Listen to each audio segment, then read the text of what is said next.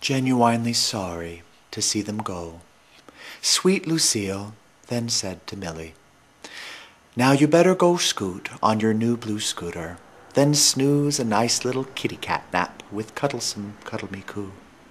Then help me hang and clip the fresh laundry to the strung up line. Then maybe create a bounty of bubbles by playing with soap in a tub of water. Then take a bath and wipe yourself off. We'll soon have some dinner, complete with scones and that cobbler dessert we all like so much. Then we'll get ready. We'll all get ready for Betty Bye, lullaby, Betty Bye bed. By undressing, then dressing in our plush pajamas, then brushing our teeth and your teddy bear's teeth. And then we'll all hop in, drop off, and driftily, iftily, iftily dream of waltzing Matilda dolls.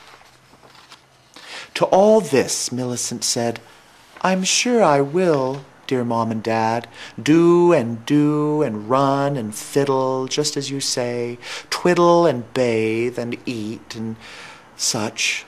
But first, I'd like to, oh my, ooh, she bent down to pick up a blackened screw.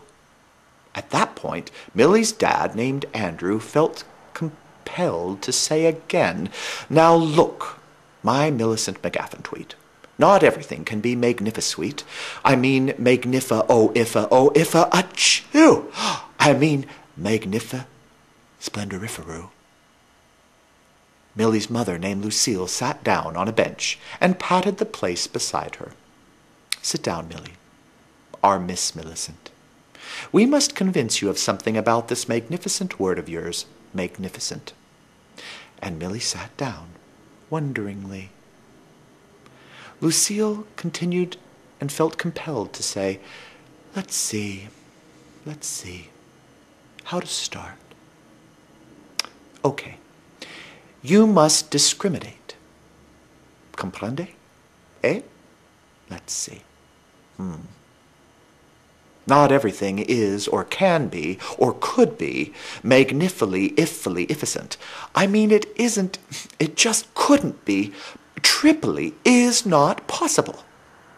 See? Uh-uh, said Miss Millicent. Hmm, said Lucille.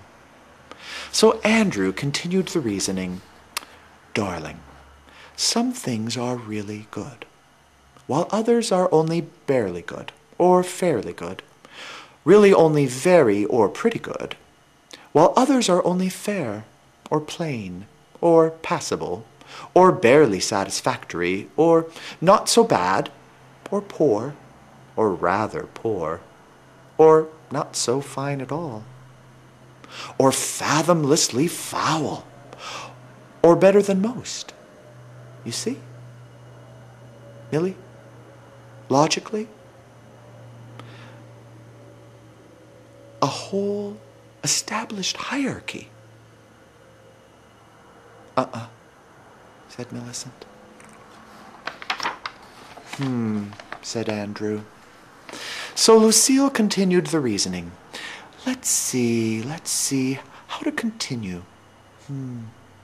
Some things are better than some, yes, but others are just just plain okay. And while some things are on the up and up, other things are rarely good. Now, even though both her parents were smiling, Millicent started feeling very odd, to the point of being utterly confused and rather discombobed.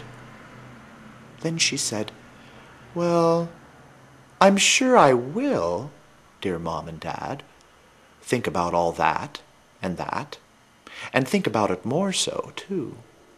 But first, I'd like to. Oh my, ooh, she saw an inchworm creeping.